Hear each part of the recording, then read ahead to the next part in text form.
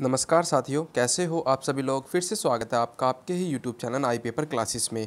और जैसे कि आप सभी लोग जानते हैं कि मैं डेली आपके लिए दोस्तों जीके की क्लास करंट अफेयर्स और साइंस की क्लास लेके आता हूँ तो आज मैं लेके आया हूँ दोस्तों आपके लिए क्या मोस्ट इंपॉर्टेंट कलेक्शन है दोस्तों क्वेश्चन का, वो भी पी वाई क्यू कौन से दोस्तों पी वाई क्यू बेस यानी प्रीवियस ईयर क्वेश्चन में पूछे हुए उन क्वेश्चनों का कलेक्शन है जो कि आपकी परीक्षा होती है दोस्तों, हर एग्ज़ाम में बार बार पूछे जाते हैं। क्या बार बार परीक्षा में पूछे जाने वाले प्रश्नों का एकदम कलेक्शन, मोस्ट इंपॉर्टेंट रहेगा ये वाला। ठीक है, इसमें जनरल नॉलेज के मैंने मतलब इसमें जो आपके हर तरीके के जो क्वेश्चन होते हैं दोस्तों, हर तरीके के क्वेश्चनों को एक साथ कलेक्ट करके उनके लिए एक अच्छा सा लेक्चर आपके लिए लेके आया हूँ, ठीक है? जो कि आपके कौन कौन से एग्ज़ाम के लिए? स्टूडेंट्स रेलवे का हो गया ग्रुप डी का हो गया एनसीआरटीसी का हो गया, ठीक है? आपके सभी एग्ज़ाम के लिए, बाकी अदर एग्ज़ाम में भी जी आती है, ये आप ऑलरेडी जानते हैं, ठीक है ना? तो सभी एग्ज़ामों के लिए मोस्ट इम्पोर्टेंट रहेगी। देखिएगा इसमें, अब हम करते हैं इस सेशन को स्टार्ट बार बार परीक्षा में पूछे जाने वाले प्रश्न ठीक है? तो स्टूडेंट्स, मेरी आपसे ये रिक्वेस्ट है कि आप वीडियो को स्टार्ट करने से पहले चैनल को सब्सक्राइब ज़रूर कर लेना, ठीक है? तो देखिए, सबसे पहले, अब ये जो आपको सब कुछ प्रोवाइड कराया जा रहा है आई पेपर क्लासेस के द्वारा, सबसे पहले तो मैं आपको बता दूँ, ठीक है? और इसमें, इसकी जो पीडीएफ है, मैं आपको, इसकी जो पीडीएफ है, स्टूडेंट टेलीग्राम चैनल पर मिल जाएगी, वहाँ पे जाके ज्वाइन कर लेना। वहाँ पे मैं इसकी पीडीएफ डेली शाम को अपलोड कर देता हूँ, ठीक है? जो भी क्लास में दिन में या फिर सुबह में जिस टाइम पे भी कराता हूँ स्टूडेंट उसकी पीडीएफ आपको किस पे? I paper classes Telegram channel पर मिल जाएगी, जाकर ज्वाइन कर लेना है ठीक? तो चलिए स्टार्ट करते हैं सेशन को, बहुत ही अच्छे और बहुत ही अच्छी शुरुआत के साथ में। तो चलिए, सबसे पहला क्वेश्चन आपकी स्क्रीन पर आप देख पा रहे होंगे, क्या कह रहे हैं इसमें? क्या कह रहे हैं इसमें? ज़रा देखिएगा इसमें, भारत की प्रथम नदी घाटी परियोजना कौन सी है? बताइए दोस्तों, ये क्वेश्चन आपके हर एग्ज़ाम में नहीं पूछा जाता? भारत की पहली नदी घाटी परियोजना कौन सी है? थोड़ा सा स्लो हो जाएगा, पर कोई नहीं अच्छा तरीके से करेंगे, क्योंकि इस टाइम का मौसम बहुत ज़्यादा वो चल रहा है, इस वजह से। तो भारत की प्रथम नदी घाटी परियोजना इसमें से कौन सी है? Option A B C D आप उसके हिसाब से मुझे आप आंसर बताइएगा, ऐसे ही प्रैक्टिस सेट होगा कंप्लीट ठीक है? बताइए इसमें से कौन सा ऑप्शन हो जाएगा आपका? दामोदर घाटी परियोजना कृष्णा नदी घाटी परियोजना या फिर गोदावरी घाटी परियोजना या फिर गंगा नदी परियोजना? तो बताइए, इसमें से कौन सा ऑप्शन हो जाएगा? इसमें हो जाएगा आपका ऑप्शन नंबर है दामोदर घाटी नदी परियोजना, ठीक है ना?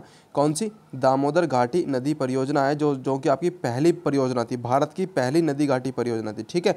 ये क्वेश्चन आपके हर एग्ज़ाम में हज़ारों बार पूछा जा चुका है। अगला क्वेश्चन है, विश्व की सबसे लंबी नदी कौन सी है? विश्व की सबसे लंबी नदी कौन सी है? इसको तो मुझे लगता है कि सभी जानते होंगे, ठीक है? फिर भी ये क्वेश्चन हर एग्ज़ाम में आता है, इसलिए पूछ रहा हूँ आपसे। विश्व की सबसे लंबी नदी कौन सी है? नील नदी, विश्व की सबसे लंबी नदी है, इसका आंसर मैं पहले ही बता दूँ, क्यों इसमें ज़्यादा वो टाइम वेस्ट ना करते हुए। अब अगर पूछा जाए आपसे, क्वेश्चन अगर पूछ लिया जाए कि दूसरे तरीके से कि विश्व की सबसे बड़ी नदी पानी के संदर्भ में किसमें पानी के संदर्भ में अगर पूछा सबसे बड़ी नदी तो वो है अमेज़ोन नदी। कौन सी है? अमेज़ोन नदी, ठीक है? और अगर पूछ लिया जाए कि आपसे कि एशिया की सबसे लंबी नदी कौन सी है तो वो है आपकी कौन सी? यांगसी क्यांग नदी, ठीक है ना? याद रहेगा? तो ये विश्व की सबसे लंबी नदी, ये विश्व की सबसे बड़ी यानी कि नदी जिस पर एक भी ब्रिज नहीं है। अमेजोन नदी एक एकमात्र ऐसी नदी जिस पर एक भी ब्रिज नहीं है और यांगसी क्यांग नदी एशिया की सबसे लंबी नदी है, अगर मैं आपको बताऊँ। ठीक है? और ये वाटर के संदर्भ में है और ये है ये लॉन्गेस्ट ठीक है? और गंगा नदी तो आप जानते ही हैं, भारत की सबसे लंबी नदी है। ये कहाँ की है दोस्तों? इंडिया की, ठीक है? तो चारों क्वेश्चन अगर इस तरीके का आपको सेशन अच्छा लगा हो तो लाइक ज़रूर कर देना आप। जितना भी मतलब जो मुझसे बन पड़ेगा, मैं आपको बहुत अच्छे तरीके से कराने की पूरी पूरी कोशिश करूँगा, ठीक है? तो चलिए दोस्तों सेशन को लाइक ज़रूर कर देना और चैनल को सब्सक्राइब ज़रूर कर लेना। अब अगला क्वेश्चन है देखेगा ये हिस्ट्री का क्वेश्चन आ गया। अशोक ने, जो सम्राट अशोक थे, उन्होंने किस धर्म को अपनाया था? बाद में उन्होंने किस धर्म को अपनाया था? बताइए, इसमें से कौन सा ऑप्शन हो जाएगा? सारनाथ, जैन धर्म, हिंदू धर्म या फिर बौद्ध धर्म? कौन सा धर्म अपनाया था? स्टूडेंट बताइए मुझे फास्ट ठीक है? इसमें अपनाया था उन्होंने बौद्ध धर्म। कौन सा था दोस्तों? बौद्ध धर्म था ये लास्ट वाला। बौद्ध धर्म, जिसका प्रसार उनके बेटे ने श्रीलंका में जाकर भी किया था। ठीक है ना? तो बौद्ध धर्म अपनाया था किसने? सम्राट अशोक ने। ठीक है? याद हो गया? अगला क्वेश्चन है नेक्स्ट क्वेश्चन नंबर फोर इसमें क्या कह रहे हैं? धामी गोली कांड कब हुआ? ये अच्छा क्वेश्चन है। आपकी स्क्रीन पर ये नया क्वेश्चन होगा। मैं इसके बारे में बताऊँगा पहले तो आपको। धामी गोली कांड कब हुआ? तो ये सुन लीजिएगा पहले। हिमाचल प्रदेश में दोस्तों एक रियासत थी जिसका नाम था धामी, ठीक है? वहाँ के जो राजा थे, उनका नाम था दिलीप सिंह। दिलीप सिंह नाम था उनका। तो ये उनके अंडर में एक मतलब क्या थी? एक रियासत थी, धामी नाम से थी। धामी वाली जो जगह थी, उसका नाम था हिमाचल प्रदेश में थी। तो हिमाचल प्रदेश, यानी कि प्रदेश का काला जो दिन मानते हैं ना, वो इसी कांड को मानते हैं, ठीक है? क्योंकि ये रियासत कभी भी किसी के गुलाम नहीं हो पाई थी, ठीक है? इसी वजह से वहाँ पे मतलब आपस में रंजिश के कारण दिलीप सिंह और जो दूसरे वहाँ के जो उनके साथ के थे, उनमें आपस में रंजिश हुई, फिर इनमें आपस में मतलब इस तरीके से की घटना हो गई कि वहाँ पे गोली कांड हो गया। तो दिलीप सिंह ने वहाँ पे गोली चलाने का आदेश दिया था सन उन्नीस सौ उनतालीस में 1939 में हिमाचल प्रदेश में। कहाँ पे दोस्तों? हिमाचल प्रदेश में उन्नीस सौ उनतालीस में ये घटना हुई थी तो ऑप्शन नंबर डी, सन सोलह जुलाई उन्नीस सौ उनतालीस में, ठीक है? हिमाचल प्रदेश में ये कांड हुआ था, ठीक है? याद रहेगा? जैसे चिपको आंदोलन है। चिपको आंदोलन। याद है ना आपको? चिपको आंदोलन। तो बताइए मुझे चिपको आंदोलन की जो शुरुआत है वो कहाँ से हुई थी? ठीक? अगला क्वेश्चन है, भारत का संविधान कब लागू हुआ? ये क्वेश्चन हज़ारों बार आपके एग्ज़ाम में पूछा जाता है। आप जानते भी होंगे। पूछा जाता है ना? स्टूडेंट, बताइए मुझे। तो इसमें आप मुझे इसका आंसर बताइए। इसका आंसर आप मुझे बताइए कि भारत का जो हमारा संविधान था वो कब लागू हुआ? ठीक है? इसका आंसर मुझे कमेंट में करिए। नेक्स्ट। सभी के आंसर, ऐसी कोई बात नहीं है कि अगर आपको लगता है कि कुछ स्टूडेंट कहते हैं कि, सर, आप आंसर पिन कर दीजिए या ये कर दीजिए, वो कर दीजिए, कर तो दोस्तों, मैं आपको पहले बता दे रहा हूँ, सभी के आंसर इस पीडीएफ में हैं। क्या कह रहा हूँ? सभी के आंसर इस पीडीएफ में हैं और आप जाइए टेलीग्राम चैनल पर, इसे ज्वाइन कर लीजिए और सभी के आंसर उस पीडीएफ में मिल जाएँगे। इसी वाली पी को मैं टेलीग्राम चैनल पर अपलोड कर दूँगा, ठीक है? वहाँ से आप इसको जाकर डाउनलोड कर लेना। याद हो जाएगा? तो चलिए भारत का संविधान जो भारत का संविधान है, उसका संरक्षण कौन करता है? संरक्षण कौन करता है? बताइए इसमें से कौन सा ऑप्शन हो जाएगा? संसद, महानियंत्रक एवं लेखा परीक्षक, सर्वोच्च न्यायालय या फिर उच्च न्यायालय? बताइए इसमें से कौन सा हो जाएगा ऑप्शन बताइए। ये हो जाएगा आपका ऑप्शन नंबर सी सर्वोच्च न्यायालय। क्या है दोस्तों? सर्वोच्च न्यायालय, जो हमारा सुप्रीम कोर्ट होता है, वो इसका संरक्षण करता है। किसका? भारत के संविधान का, ठीक है? क्योंकि हमारा जो भी मतलब जो भी रेगुलेशन कोई भी नियम या फिर जो भी न्याय जिस तरीके का काम होगा, किसी भी तरीके से अगर कोई भी एक रूल लागू करना है या फिर कोई नियम बनाना है लॉ बनाना है तो वो इनके मतलब संविधान के मतलब एक उसके अकॉर्डिंग बनाया जाएगा, ठीक है? संविधान के अकॉर्डिंग बनाया जाएगा। एक क्वेश्चन है आपसे, मुझे आप बताइए, निजता का अधिकार।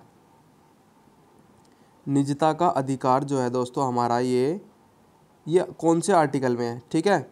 आप मुझे बताइए कौन से आर्टिकल में है, ठीक है? आर्टिकल बताना आपको मुझे इसका। कौन सा हो जाएगा? अगला क्वेश्चन आपकी स्क्रीन पर है, राष्ट्रीय महिला आयोग अधिनियम किस वर्ष द्वारा पारित किया गया था? किस सं देखते हैं। राष्ट्रीय महिला आयोग अधिनियम किस वर्ष संसद द्वारा पारित किया गया था? तो कौन सी सन में राष्ट्रीय महिला आयोग संसद द्वारा पारित किया गया था? ऑप्शन नंबर अठारह सौ नब्बे में। उन्नीस सौ सैंतालीस में, उन्नीस सौ नब्बे में या फिर उन्नीस सौ पंचानवे में? बताइए मुझे कौन सा ऑप्शन हो जाएगा इसका?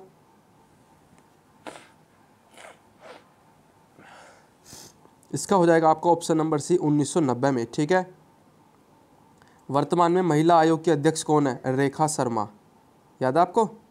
रेखा शर्मा। ये क्वेश्चन आपका हर एग्ज़ाम में पूछा जाता है, इसलिए मैं इसको भी लेके आ गया, ठीक है? आपको लग ही रहा होगा हल्के हल्के कुछ तो क्वेश्चन है जो आपके एग्ज़ाम में पूछे हैं, थोड़ा सा इसको ऐसा कर लेते हैं हल्का। ठीक है ना? आगे देखिएगा, आगे चलते हैं। नेक्स्ट आपकी स्क्रीन पर क्या कह रहे हैं इसमें? मोटर गाड़ियों से निकलने वाली गैस कौन सी होती है? बताइए क्या ये क्वेश्चन आपके एग्ज़ाम में नहीं पूछा जाता? मोटर गाड़ी से जो गैस निकलती है, उससे कौन सी गैस निकलती है मतलब? कार्बन डाइऑक्साइड मीथेन ब्यूटेन या फिर कार्बन मोनोऑक्साइड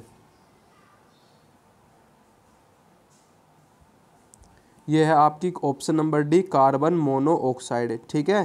कार्बन मोनोऑक्साइड जो निकलती है आपके किससे मोटर गाड़ियों से निकलने वाले धुएँ से, ठीक है? जो वाहन में धुएँ फेंकते हैं, उसमें से निकलती है कार्बन मोनोऑक्साइड ठीक? याद हो जाएगा? अगला क्वेश्चन है, सोने की शुद्धता को किससे परिभाषित किया जाता है? जो हमारा सोना होता है गोल्ड होता है, उसकी शुद्धता को हम किससे परिभाषित करते हैं? ये क्वेश्चन तो बहुत आम है, आप बता ही दोगे। गोल्ड कैरेट रजत, स्वर्ण। ये हो जाएगा आपका ऑप्शन नंबर बी कैरेट ठीक है? क्या? कैरेट सोने में क्या मिलाया जाता है दोस्तों? बताइए मुझे सोने के साथ अगर सोने को शुद्ध बनाना होता तो, तो क्या मिलाते हैं उसमें? तांबा. ठीक है? कॉप प्लस आपका क्या? ए यू यानी कि गोल्ड इन दोनों का मिश्रण करके दोस्तों बनाया जाता है twenty four carat twenty three carat twenty two carat जो भी मतलब जिस तरीके की जो हमारे इनकी जो क्वालिटी होती है उसके हिसाब से इसको डिवाइड किया जाता है। ठीक है? तो कैरेट क्या होता है दोस्तों? कैरेट ठीक? आगे चलते हैं। अगला क्वेश्चन है, गुब्बारे को गुब्बारे को भरने के लिए कौन सी गैस का प्रयोग किया जाता है? कौन सी गैस का हम प्रयोग करते हैं गुब्बारे को भरने के लिए? क्वेश्चन जरा ध्यान से सुन लेना, ये क्या कह रहे हैं इसमें? कौन सी गैस का है? इसमें हीलियम आपका आंसर नहीं है, पहले ही बता दूँ। ना ही नाइट्रोजन है, ना ही ऑक्सीजन है तो कौन सा है? Hydrogen option number A hydrogen हो जाएगा इसका आंसर गुब्बारे को भरने के लिए कौन सी गैस का प्रयोग करते हैं? हाइड्रोजन गैस का प्रयोग करते हैं। गुब्बारा जो उड़ता है तो उसमें कौन सी गैस भरी हुई होती है? वो होती है हीलियम। ठीक है? अगला क्वेश्चन आपकी स्क्रीन पर अगर अच्छी लग रही हो दोस्तों, इस तरीके की वीडियो सेशन अच्छा लग रहा हो तो लाइक शेयर ज़रूर कर देना दोस्तों। ठीक है ना? और चैनल को सब्सक्राइब तो कर ही लेना, क्योंकि आपके लिए डेली क्लासेस इस तरीके की आती रहती है। आपने देखा भी होगा, चाहे नहीं देखा तो जाके देख लीजिए। ठीक है? वेदों में निम्न में से किसे सृष्टि का रचयिता कहा गया है?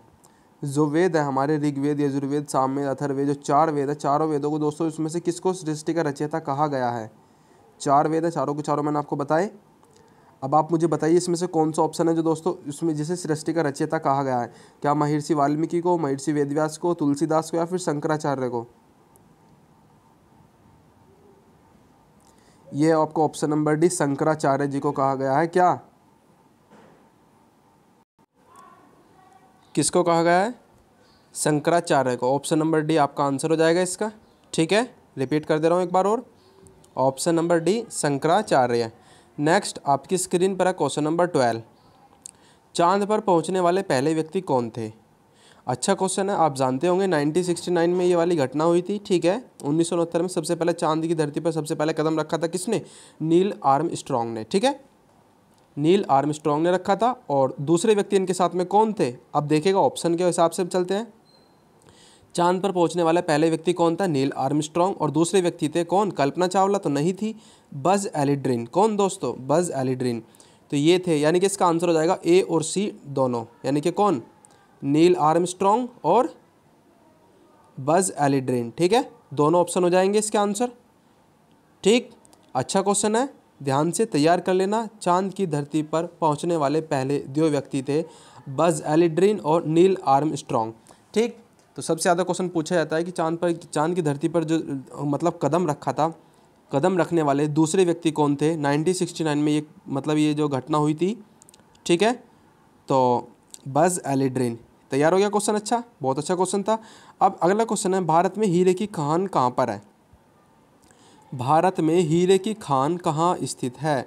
अच्छा क्वेश्चन है। आपके एग्ज़ामों में हर बार पूछा जा चुका है। उत्तर प्रदेश में है, आंध्र प्रदेश, छत्तीसगढ़ में है क्या?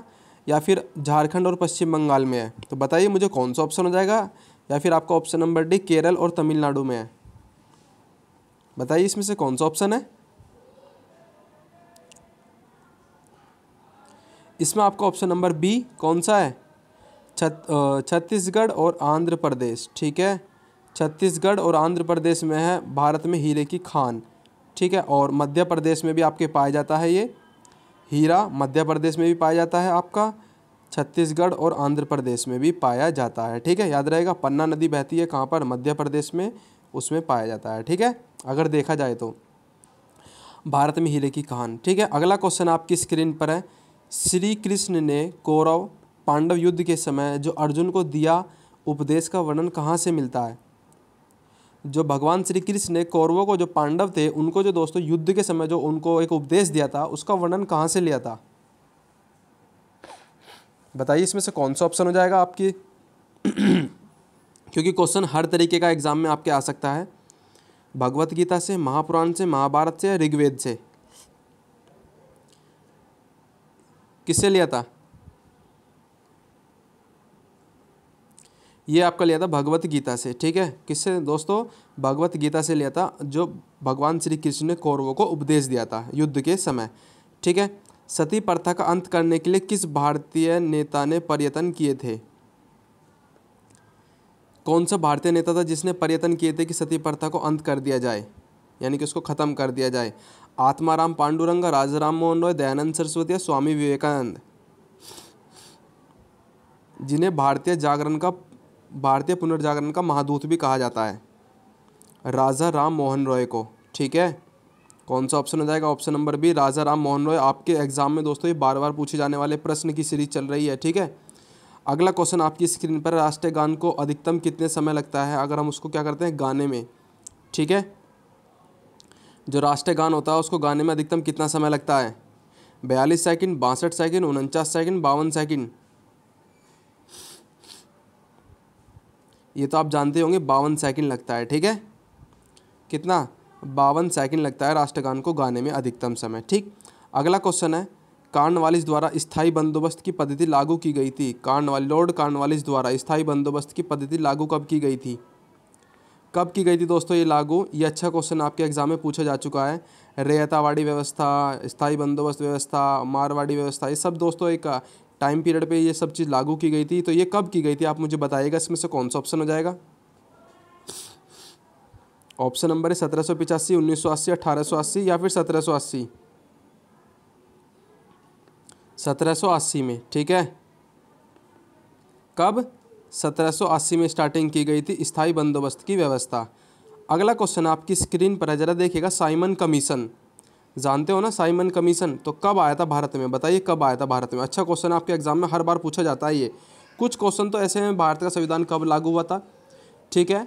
और ये वाले संविधान में व्यवस्था कहाँ से ली गई है? एक क्वेश्चन इसमें से आ जाता है, एक आर्टिकल से आ जाता है, और एक साइमन कमीशन आपका। भारत में कब आया था? ये क्रिप्स मिशन कैबिनेट मिशन ये सब अच्छे अच्छे क्वेश्चन हैं जो आपके एग्ज़ाम में आते ही हैं।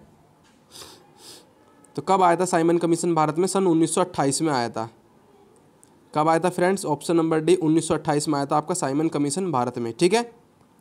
अगला क्वेश्चन है जलिया बाग हत्याकांड कब हुआ था? जलिया बाग हत्याकांड कब हुआ था? जिसके अध्यक्ष जो बनाए गए हैं वो बनाए गए हैं हमारे प्राइम मिनिस्टर मोदी। ठीक है इस ट्रस्ट के अध्यक्ष भी मोदी जी हैं और आपका जो आ, क्या नाम है गुजरात का जो सारनाथ है टेंपल उनके भी अध्यक्ष कौन है? मोदी जी हैं ठीक है? प्राइम मिनिस्टर मोदी जी हैं आप भी आपको दोनों क्वेश्चन बता दिए। बता बताइए जलियावाला बाग हत्याकांड कब हुआ था? ये हुआ था आपका तेरह अप्रैल 1919 में। कब? तेरह अप्रैल 1919 में, ठीक है? याद रहेगा? अगला क्वेश्चन आपकी स्क्रीन पर अजंता की गुफाएँ किस राज्य में स्थित हैं? उत्तर प्रदेश में, झारखंड में, मध्य प्रदेश में, महाराष्ट्र में। ऑप्शन नंबर डी महाराष्ट्र में स्थित है। किसकी? अजंता की गुफाएँ, ठीक है? तैयार हो जाएगा? औरंगाबाद में।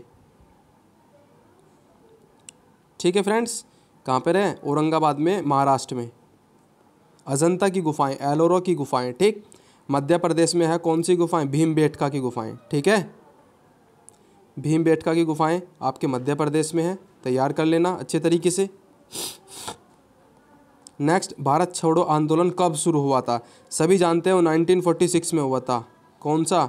भारत छोड़ो आंदोलन। क्या सही बता रहा हूँ क्या? अरे, यही तो गलती कर देते हो हर बार हर बार यही गलती कर देते हो। हर बार यही गलती कर देते हो, क्योंकि मैंने देखा अधिकतर जो स्टूडेंट होते हैं वो नाइन्टी फोर्टी सिक्स लगा के आते हैं, पता नहीं क्यों। वैसे अगर इसका ऑप्शन देखा जाए तो बताइए मुझे ऑप्शन के हिसाब से कौन सा ऑप्शन हो जाएगा इसमें से। एक मई उन्नीस सौ पैंतालीस, चार जुलाई उन्नीस सौ चालीस, पंद्रह अगस्त उन्नीस सौ बयालीस, आठ अगस्त उन्नीस सौ बयालीस। भारत छोड़ो आंदोलन क्वाइट इंडिया मूवमेंट ये है आपका आठ अगस्त उन्नीस सौ बयालीस। याद कर लेना, आठ अगस्त उन्नीस सौ बयालीस। मैंने एक बार क्या किया था, जैसे वो करते हैं ना कम्युनिटी पॉल उसमें मैंने दोस्तों 1946 ऑप्शन क्या डाल दिया, सभी उस पर चले गए, पता नहीं क्या हुआ, सब उस पर जा रहे हैं, बार बार बार बार बार बार। समझ से बाहर है, पता नहीं स्टूडेंट्स कहाँ हैं कि, पता नहीं कौन भेड़ चाल चलनी शुरू कर देते हैं, लगता है मेरे को। तो आठ अगस्त उन्नीस सौ बयालीस, भारत छोड़ो आंदोलन शुरू किया गया था, ठीक है? आज़ाद हिंद फौज की स्थापना किसने की थी? आज़ाद हिंद फौज की स्थापना किसने की थी? अच्छा क्वेश्चन है, बताइए मुझे। चंद्रशेखर आज़ाद ने की थी क्या? या फिर सुभाष चंद्र बोस या फिर रास बिहारी बोस ने या फिर बंकिम चंद्र चटर्जी ने? किसने की थी? ये आपका ऑप्शन नंबर बी हो जाएगा इसका। सुभाष चंद्र बोस ने की थी आज़ाद हिंद फौज की स्थापना। ठीक है, तैयार हो गया क्वेश्चन बहुत अच्छा क्वेश्चन है।